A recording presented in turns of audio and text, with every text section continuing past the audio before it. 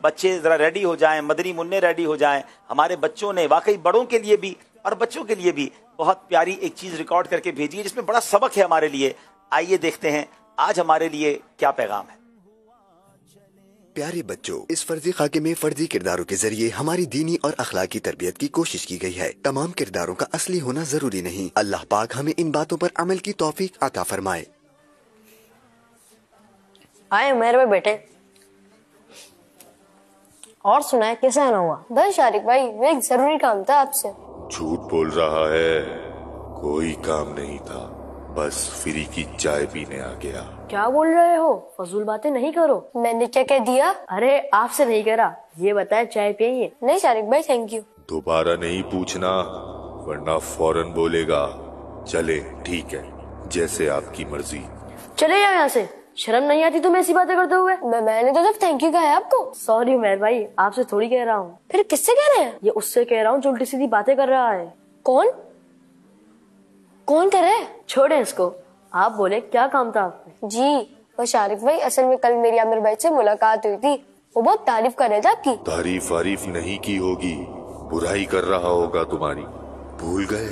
اس کے ساتھ جو مسئلہ ہوا تھا۔ تم چپ نہیں ہوگے؟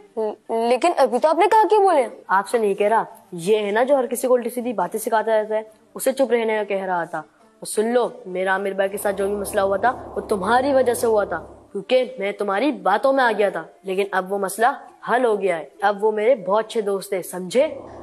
اچھا اب میں سمجھا آپ کس سے بات کر رہے ہیں؟ چھوڑ اس کو۔ شارق بھائی اصل میں عامر بھائی بہت پریشان ہے انہیں پیسے کی بہت سخت ضرورت ہے۔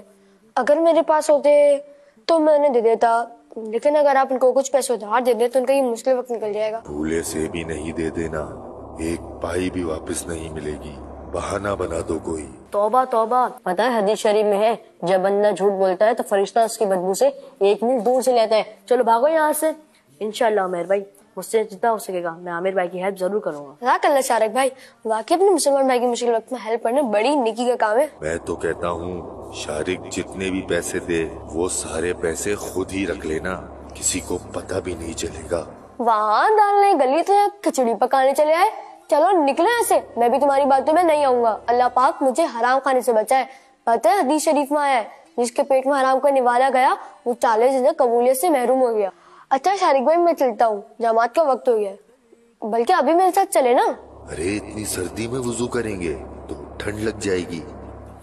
نہیں یہ ایسے نہیں مانے گا۔ میرا خیال ہے میں عبدالحبی بھائی سے پوچھنا چاہیے کہ ہم اس کے وسوسوں سے کیسے بچ سکتے ہیں۔ ارے عبدالحبیب کے پاس جانے کی کیا ضرورت ہے؟ کچھ لے دے کے معاملہ حل کر لیتے ہیں۔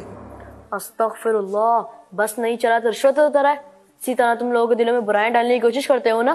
اچھا اچھا سوری اب میں ایسا نہیں کہوں گا۔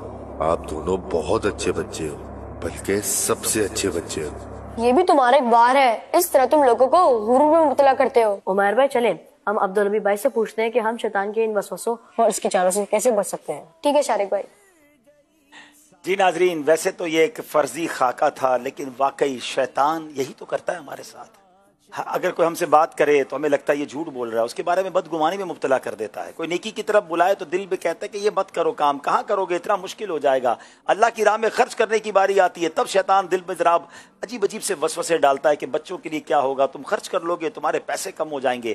یہاں تک کہ انسان انسان کے دل میں اس کے ایمان کے بارے میں وسوسے ڈالتا ہے۔ اس کو بدگمانیوں میں مبتلا کرتا ہے۔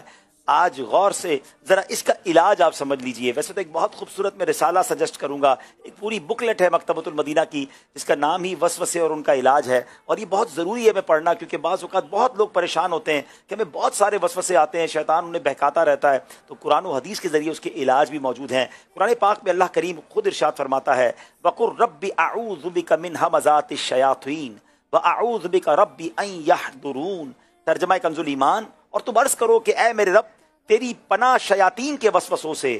اور اے میرے رب، تیری پناہ کہ وہ میرے پاس آئیں۔ میرے پیارے اسلامی بھائیوں، منہاج العابدین میں امام غزالی علیہ رحمۃ اللہ الوالی فرمان کا فرمان کا خلاصہ یہ ہے کہ اللہ عز و جل نے ہر انسان کے دل پر ایک فرشتہ مقرر فرمایا ہے۔ جو اسے نیکی کی دعوت دیتا ہے۔ اس فرشتے کو ملہم اور دعوت کو الہام کہتے ہیں۔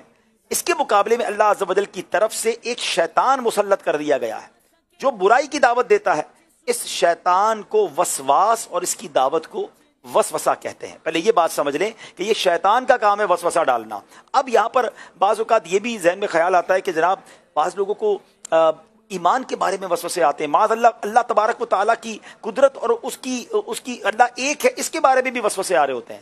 تو ذرا آپ غور سے سن لیجیے، شیطان ہم سے کس قدر قریب ہے کہ اللہ کے حبیب علیہ السلاۃ والسلام کا فرمان عالی شان ہے۔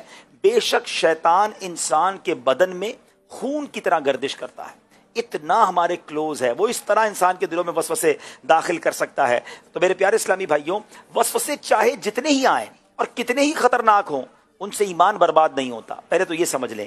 ایمانیات کے تعلق سے وسوسے آنے پر دل پریشان ہونا اس بات کی علامت ہے کہ دل ایمان پر مطمئن ہے۔ بڑی پیاری مثال علماء دیتے ہیں کہ چور ڈاکو وہیں جاتے ہیں نا۔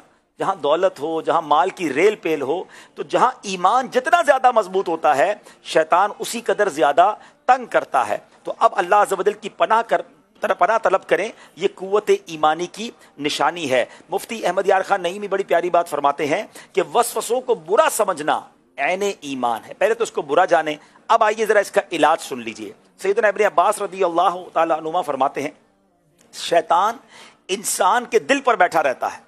جب بندہ ذکر اللہ سے غافل ہو جاتا ہے، تو شیطان وسوسے ڈالتا ہے۔ اور جب انسان اللہ عز و جل کا ذکر کرتا ہے، تو شیطان پیچھے ہٹ جاتا ہے۔ تو ذکر اللہ کی کثرت کریں۔ فضول باتیں اتنی کر رہے ہوتے ہیں، شیطان دل پہ قبضہ کر لیتا ہے۔ تو ذکر اللہ کریں گے تو شیطان قریب نہیں آئے گا۔ اور کیا خوبصورت ہم قرآن پاک میں آیت پڑھتے ہی ہیں نا، من شر الوسواس الخناس۔ اس کے شر سے جو دل میں برے خطرے ڈالے اور دبک رہے۔ اس کی تفسیر میں حضرت سیدنا مجاہد کیا فرماتے ہیں کہ جب انسان اللہ تعالیٰ کا ذکر کرتا ہے تو وہ سکڑ جاتا ہے۔ جب غافل ہوتا ہے تو اس کے وہ دل میں پھیل جاتا ہے۔ تو اللہ تعالیٰ کے ذکر اور شیطان کے وسوسے کے درمیان جنگ اسی طرح جاری ہے، جس طرح روشنی اور اندھیرے نیز رات اور دن کے درمیان لڑائی جاری ہے۔ یہ دونوں یعنی ذکر و وسوسہ ایک ایک دوسرے کی ایک طرح سے ضد ہیں۔ اگر آپ چاہتے ہیں کہ وسوسہ نہ آئے تو ذکر اللہ کی کثرت کریں۔ اب آئیے آخر میں میں کچھ علاج بھی بتا دیتا ہوں۔ کئی لوگوں کو نماز میں وسوسے آتے ہیں، کئی لوگوں کو بہت سارے خیالات آتے ہیں۔ تو اعوذ باللہ من الشیطان الرجیم، یہ پڑھا کریں، اس سے وسوسے دور ہو جاتے ہیں۔ اسی طرح لا حول ولا قوت الا باللہ، یہ پڑھا کریں۔ سورہ ناس کی تلاوت کرتے رہا کریں کل اعوذ برب الناس کی پوری سورت جو ہے۔ اسی طرح آمنت باللہ و رسول ہی کہا کریں، تو انشاءاللہ اس سے بھی وسوسے کی کاٹ ہو جائے گی۔ اے میرے پیارے اسلامی بھائیوں، مفتی احمد یار خان فرماتے ہیں کہ صوفیہ کرام فرماتے ہیں۔ جو کوئی صبح و شام اکیس اکیس بار لاہور شریف پانی پر دم کر کے پی لیا کرے، انشاءاللہ عزوجل وسوسائے شیطانی سے بہت حد تک امن میں رہے گا۔ مگر یہاں میں ایک اور چیز آپ سے بات کرنا چاہتا ہوں۔ اس بچے کو شیطان نے وسوسے کے ساتھ ساتھ بدگمانی میں بھی مبتلا کیا کہ یہ جھوٹ بول رہا ہے۔ یہ جو کہہ رہا ہے نا کہ میرا دوست پریشان ہے، یہ ایسے ہی کہہ رہا ہے، یہ پیسے تمہارے کھا جائے گا۔ آج ہمارا بھی حال ایسا ہی ہو گیا ہے۔ ہمیں کوئی کہتا ہے میں کسی کے گھر جائیں، بیل بجائیں، وہ کہے کہ مثال کے طور پہ آپ عبداللہ کے گھر پہ گئے ہیں۔ عبداللہ بھائی گھر پہ ہیں، جواب ملتا ہے گھر پہ نہیں ہے پہلا خیال دل میں کیا آتا ہے؟ جھوٹ بول رہا ہوگا۔ یہ تو گھر میں ہوگا۔ ہم کسی کو فون کریں، وہ ہماری کال نہ اٹھائے۔ پہلا خیال دل میں کیا آتا ہے؟ کہ یار دیکھو، میرا نمبر دیکھ کر فون نہیں اٹھا رہا۔ بڑا آدمی ہو گیا نا، پیسے والا ہو گیا ہے۔ ہماری اسٹارٹ کی جو سوئی ہے، وہ نیگیٹو سے کیوں شروع ہوتی ہے؟ ہمیں ہر بندے کے اندر برائی کیوں نظر آتی ہے؟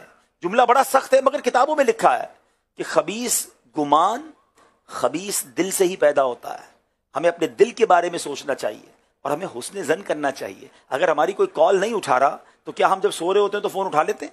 جب ہم واش روم میں ہوتے ہیں، جب ہم نماز پڑھ رہے ہوتے ہیں، اب مثال کے طور پہ میں آپ کے ساتھ سلسلہ کر رہا ہوں تو میرے فون پہ ہو سکتا ہے کالز آ رہی ہوں گی۔ تو کوئی کہے، یار، بڑا آدمی ہو گیا، فون نہیں اٹھا رہا، میرا نمبر دیکھ کر نہیں اٹھا رہا۔ حالانکہ میں تو کسی اور کام میں بزی ہوں تو ہر وقت ہم ہر ہر کسی کے بارے میں نیگیٹو نہ سوچا کریں، کیونکہ بدگمانی ایک ایسا گناہ ہے کہ یہ گناہ کبیرہ بھی ہے اور دل کے اندر ذرا سوچی جا رہا ہے انسان، اور اس پر پختہ بھی ہوتا جا رہا ہے اور کہیں گناگار نہ ہو جائے۔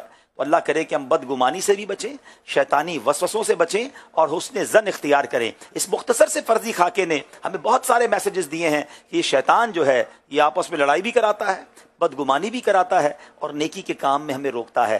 اللہ کرے کہ دل میں اتر جائے میری بات۔ ہم اللہ کرے کہ شیطان کے وسوسوں اور اس کے واروں سے محفوظ رہیں۔ آئیے ناظرین، اب ہمارے مبلغ دعوت اسلامی صوبان اتاری تشریف لائیں گے اور ہمیں انشاءاللہ کچھ پیارے پیارے مدری پھول عطا فرمائیں گے۔ صلو علی الحبیب صلی اللہ تعالی علی محمد صلی اللہ علیہ وسلم۔